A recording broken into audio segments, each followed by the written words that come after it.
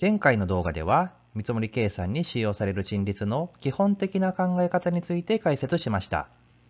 この動画では有人加工か無人加工かで見積もりにどのような影響が出てくるのか見ていきましょ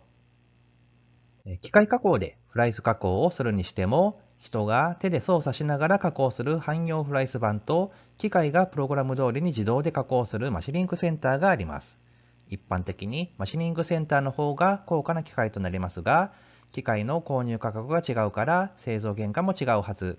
製造原価が違うと見積もり価格の設定も違うはずと思われるかもしれません。実際そうなのですが、でもどのように見積もりを変えたらいいかわからないといったことはないでしょうか。この動画では使用する機械によって見積もり価格はどう変えればいいのかについて具体的な事例をもとに解説していきたいと思います。まず、機械の賃率の計算はここに示す式のようになります。簡単に言うと、機械にかかる年間費用を年間の稼働時間で割ります。すると時間あたりの使用料金が計算できます。機械の年間費用は原価償却費とランニングコストを足したものを使用します。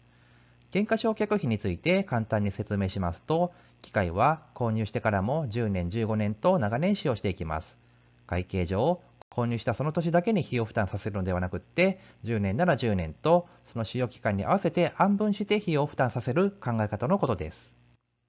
ここでは汎用フライス版とマシニングセンターそれぞれの年間費用は表のように25万円、100万円であるとします。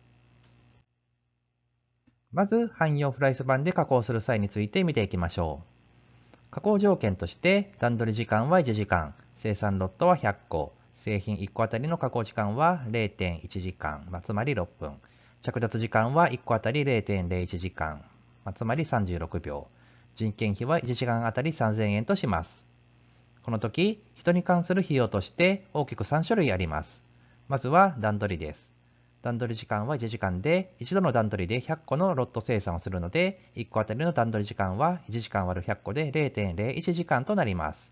よって段取りにかかる製造費用として 3000×0.01 の30円がかかります。次に加工の費用です。刃物で削って加工する時間は0.1時間なので 3000×0.1 で300円がかかります。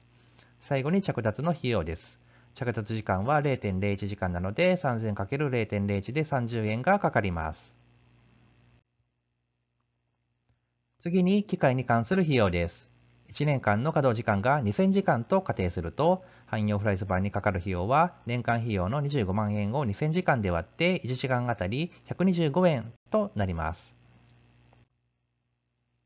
この時、加工時間は0.1時間なので、汎用フライス版にかかる製造費用は 125×0.1 で12.5円となります。これらのことから、汎用フライス板にてずっと機械の前に人が張り付いたまま加工している時の製造費用は、人に関する費用が30たす300たす30で合計360円。機械に関する費用が12.5円なので、合計で372.5円となります。次に、マシニングセンターで加工する際について考えてみます。段取り時間や加工時間などの条件はフライズ版の時と同じとします。まず、人に関する費用につきまして、段取り費用はフライズ版と同じ30円になりますが、加工にかかる費用は0円となります。これは、マシニングセンターはプログラムに従い、無人でも加工が行えるからです。最後の着脱にかかる費用につきましては、フライズ版と同じく30円となります。次に、機械に関する費用につきまして、マシニングセンターもフライス版と同じく年間の稼働時間を2000時間とすると、1時間あたりにかかる費用は100万円割る2000で500円となります。この時、加工時間は0.1時間なので、マシニングにかかる製造費用は 500×0.1 で50円となります。以上のことから、マシニングセンターで無人加工している際の製造費用は、人に関する費用が計60円、機械に関する費用が50円で、合計110円となります。以上の計算により、汎用フライズ版での有人加工の際の製造費用は372.5円、マシニングセンターでの無人加工では110円と3倍以上の差がつきました。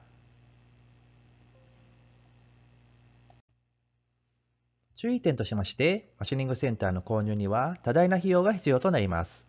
よって、マシニングセンターを導入しようとする際には、現在の受注量が今後も続くのか、人件費の削減に本当につながるのか、